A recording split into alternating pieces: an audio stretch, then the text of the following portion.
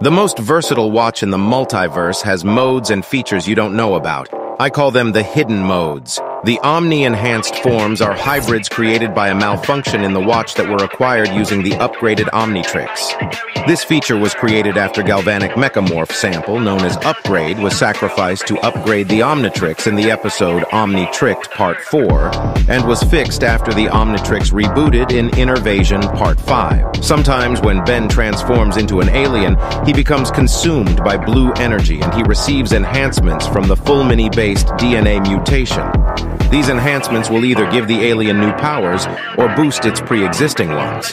Its only pullback is that it will sometimes take E-Way abilities such as Stinkfly's goo or Grey Matter's small size. The aliens that have been Omni-enhanced are Diamond Head, Grey Matter, Wildvine, Heatblast, Four Arms, Cannonbolt, Stinkfly, Water Hazard, and XLR8. Follow for more hidden modes.